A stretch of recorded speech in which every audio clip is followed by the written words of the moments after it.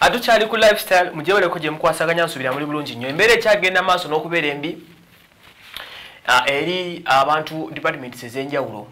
Twatandikira eri ku bannaffe abasanyu fm bwe bagoba abakozi bonna mubajjukira bagoba tiimu yonna bagigoba lwakubanja bizinesi nyingi nnyo mu nsi yonna zistrambulinze n'ezimu nga zigaddewo era ezimu n'okugwa zaagwa.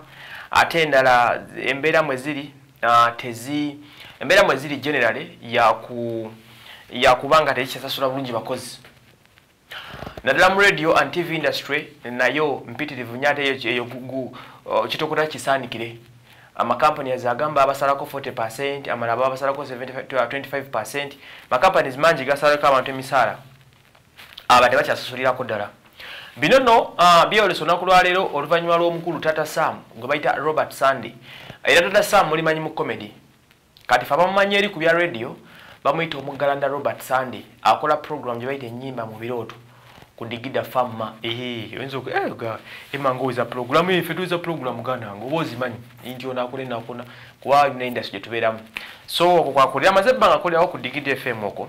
Abatamanyi digida fm eri 165 era nga eh, this is the sister radio uh, to the radio called budu fm abava emasaka budu mugimanyi eyavaako basuna beni eyavaako bakamperempe ba um, tone mbaziira gyebava kyenda munana katonyeze munane masaka nekyenda mutano kanyuzi tano e kampala. So eno obudu fm nanyiniyo mwami bamwita mwami alex e, yatwala ne radio ya buddu zombi zize kati yagizimba ngeno ye kampala.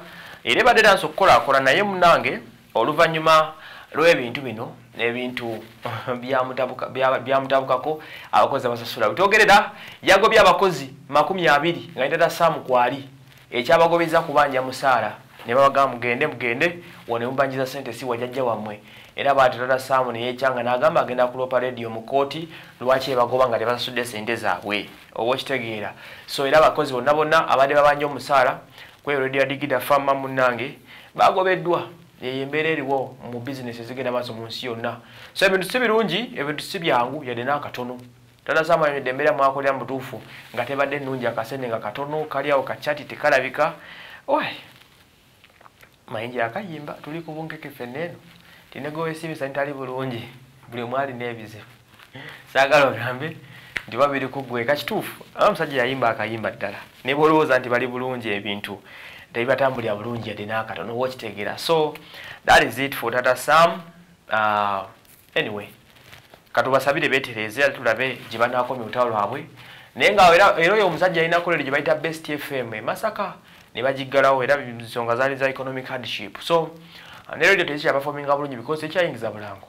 Reason being abali balanga bonna amakampuni agandira nze agasinga gapulinga out obulango bwago. So neziba nga business si nyangu ebintu bizibu yonna gye tuli so. Anyway tulina okwesabira kono naagende ate ebintu bitambule bulungi